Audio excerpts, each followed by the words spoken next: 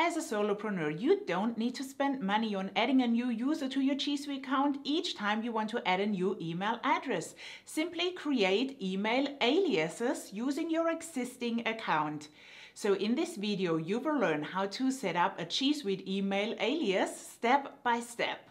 Plus, if you stay until the end, I will also show you how I organize my G Suite account, including how I structure my inbox using filters and labels. Having this knowledge will save you so much time down the road. By the way, hi, I'm Sabine Biesenberger, and if you stumbled across my YouTube channel for the first time, this is the place where I share everything marketing and beyond to help you grow your coaching business. If you're already part of my community, welcome back. I'm thrilled you're here. Now, let's switch over to the screen to get the ball rolling. I'm already logged into my G Suite account. And if you're wondering where all the emails are, well, this is a brand new G Suite account, which I set up step by step in this video over here. So if you're a G Suite newbie, I highly recommend putting this video on your must watch list. And should you not have signed up for a Suite account yet, well, hop over to sabineb.cc slash G Suite and register for the basic account. It comes with a 14-day free trial, so you can play a little bit around before you commit. Now, the first thing we need to do is to go to the Google Admin Console, which you can find under admin.google.com. Or if you're in your Gmail app, simply click the nine little dots over here, scroll down until you see this little tools icon uh, with the subtitle admin and click it. Now in some instances, you might need to log in again if you need to, then do that now. In my case, it's automated as I use LastPass for my password management. It's quite a nifty tool, so if you want to check out LastPass, I will put a link in the description section below this video too. Once logged in, you should see an overview page like this. Now the first thing that we need to do is to set up the receiving alias. And this is a crucial step that most people don't know or don't do. And that's why their alias setup isn't working correctly. So pay attention. Go up and click users. Then click the name you want to add more aliases to. If you're a solopreneur, there should only be one name in there, so it's quite straightforward. Make sure that you don't tick the box here or click anything over here. You really just need to click directly the name. Click it.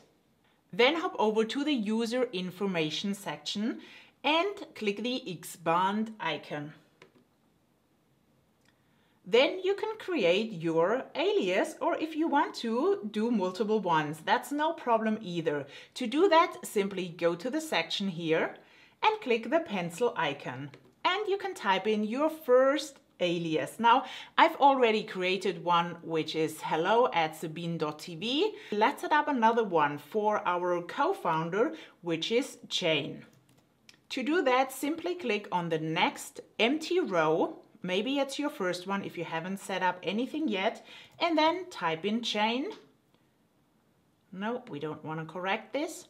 Go to the bottom where you can see the little save button and click it. By the way, I guess you figured out that you can only change the first part of the email address, which means everything before the at symbol for your aliases as the last part, everything after the at symbol, is obviously your verified domain and cannot be modified. Now, as we're already here, let's create another alias, one that's explicitly for my private clients. And by the way, those email addresses aren't real, so don't send an email to them. Let's do VIP at sabine.tv. Again, click the pencil icon, go to the next empty row, type in the first part of the alias you want to create, and then click Save again. Create as many as you want. I have more than 13 aliases in my real account and I haven't seemed to reach the limit of aliases yet, so get creative. And well, if you made a mistake, in any one of those, simply click the pencil icon again and correct. Don't forget to click Save after you made your changes. Once you're done, check that everything is correct And remember that you can always come back later and add or delete anything you want because what you do right now isn't set in stone at all. Now the first step of setting up your aliases is done. You can now use this email address or email alias and start receiving emails. Just send an email from one of your other email addresses to your newly created ones to test it. So let's do this quickly.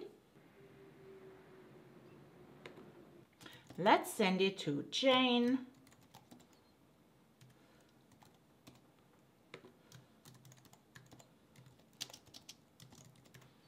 And let's click send. Okay, we're in our Gmail inbox, so let's refresh it. If we go to the inbox, ta-da, you can see test email to Jane. We received the email. So what we did is the first step, we set up the receiving inbox. Now what we cannot do yet is sending emails from this alias. Let me show you what I mean. Click plus compose. And as you can see, there is only a to field and a subject field, and then obviously the body of your email. However, I cannot click a drop down here and select an email address from which I want to send an email from. So let's change that right now. To do that, let's close the pop-up window. Let's go up to the clock wheel or settings here, click it, scroll down until you can see the settings, click it. And then you should see a settings page like this one here. Now from here, go to the Accounts tab and click another email address over here. As you can see, we created an hello email address, we created the Jane email address, and we created the VIP email address. However, within the Accounts tab, there is only the Sabine one there. So click Add another email address. And let's set it up here. Now, when it comes to the name, so let's assume that Jane obviously wants her name. So she has as a sender name the one of Jane Smith. Then we set up the email address and type in Jane at sabine.tv. We click treat as an alias here and then let's click next step and you can see Jane should be set up here. So let's click add another email address because as you remember, we set up VIP as well. So let's do and click here and change actually the name to Sabine's and Jane's team because this is the email address VIP at sabine.tv. If you're happy with it, make sure that this checkbox is ticked and click next step again. Now, as you can see, this is something new. It didn't come before. It says before you can send mail as VIP, we need to verify that you own this email address. So click send verification. And now let's hop back. So let's move this one over here and let's go to our inbox. And you can see that the confirmation email is here. And here is the confirmation code. So I will just click Command C to copy and paste this over. And I will go back to my clock wheel and to the settings again, to the accounts, and I will click verify. I will type in or paste the code and then click the verify button. And ta-da, now you can see that all of those email addresses have been set up. And this now means that they have been set up from a sending end. Now this is very important, okay? So let's move back to plus compose again. And now you can see there is a little drop down arrow here. And once we've set up the accounts, you can now choose if you want to send an email from the sabine at sabine.tv account, from the Jane one, or from the VIP one.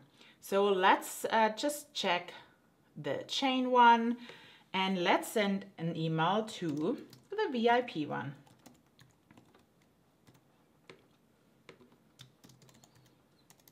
So let me spell correctly. From Jane to VIP. And let's click send. Now in our inbox over there, let's click this one.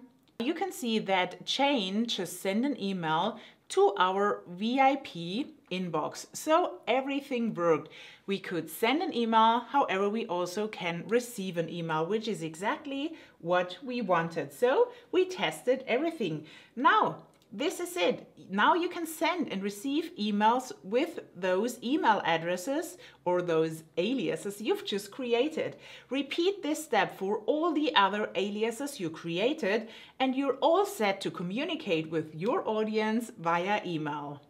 Before I'll show you how to create labels and filters to structure your inbox, what is one thing you would love to learn from me to grow your coaching business? Let me know in the comments below. I'd love to hear from you as I'd like to create more videos that are helpful to you. Now let's hop over to our screen again, because here it is, as promised. This is an example of how I structure my inbox with filters and labels, as you can see here.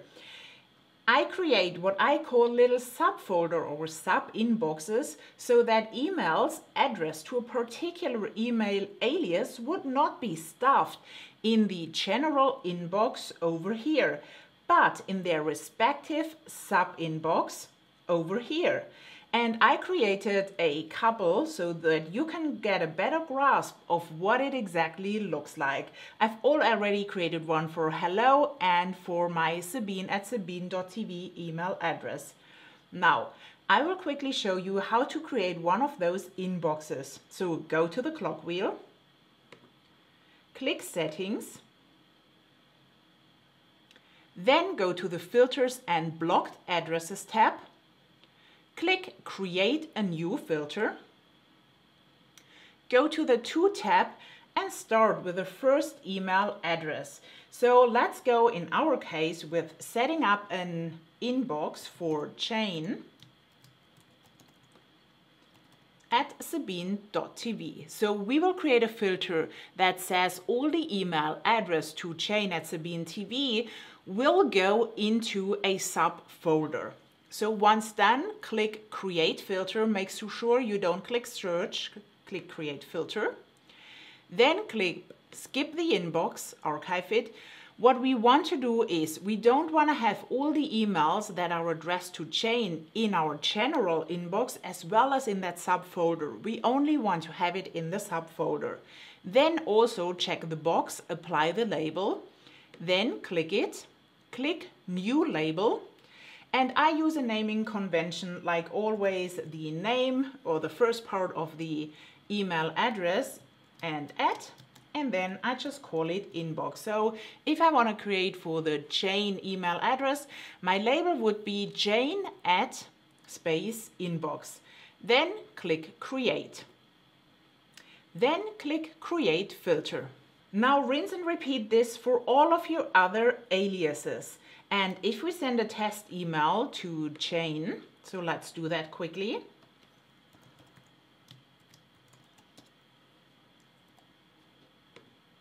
And let's say the subject is should go to newly created sub inbox.